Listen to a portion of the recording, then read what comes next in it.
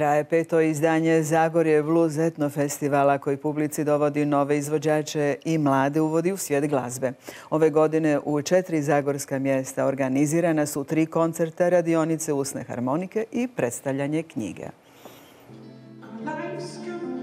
Koncertom austrijske etno skupine Alpine Dweller i domaćeg glazbenika Tomislava Golubana završila je treća večer Zagorje Blues etno festivala. Mladi Austrijanci prvi put nastupaju u Hrvatskoj. Svirajući zajedno imali smo mnogo utjecaja. Djevojke su školovane glazbenice ja sam više kao gitarist uz Logorsku vatricu. Koncert u muzeju Žitnica u slike slavnog Ivana Lovrenčića, austrijski World Etno i Zagorski blues. Večer je koja pokazuje bit festivala. Njegov je organizator višestruki dobitnik Porina za blues albume, promotor usne harmonike. Začet je samo jedna lokacija. Tijekom pet godina smo obišli niz e, mjesta u Hrvatskom Zagorju.